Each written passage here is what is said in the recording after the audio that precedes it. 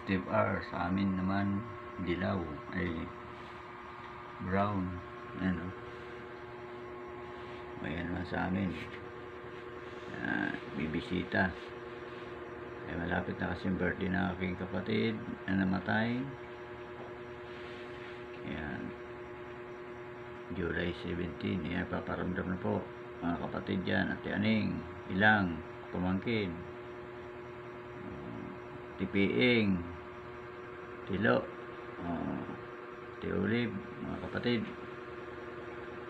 Pagdasal po natin yung ating mga namatay na kuhan. Yan, ipaparamdam sila. Yan, pag brown naman po, paluluwa. Uh, lagi tayo binibisita niyan. Pati ulit. Uh, birthday kasi siya sa July. Malapit na. Ipaparamdam. Bisitahin niyo po natin yung kanyang puntod. O di dasal-dasal pag hindi pandemic kasi. Yan o. Ah, babae yan. Ah, Tiloret, peace po. Love ka namin. Ah, mag-alala. Siyempre kami para sa'yo. Rest in peace. Rest in peace. In God's mighty name. In Jesus name. Amen. Yan. Kagabi pa to. Ayaw malis. Yan. Yan ka lang ha. Ingat ka dyan sa mga buhaya dyan sa taas. Ay, hindi ka basta-basta malunok. Ingat ka dyan. Yan o. Yung mukha o. Yan o. Mukha. Yung mata o. Picture natin.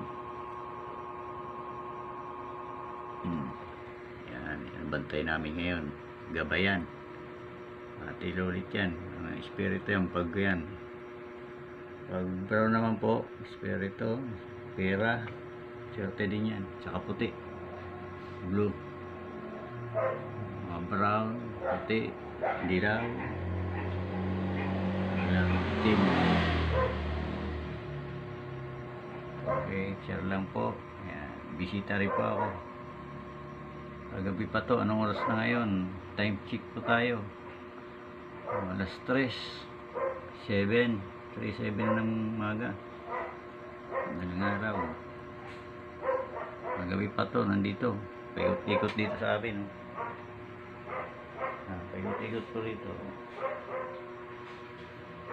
Kasi napansin ko po to, si Sir Steve R naman, puti.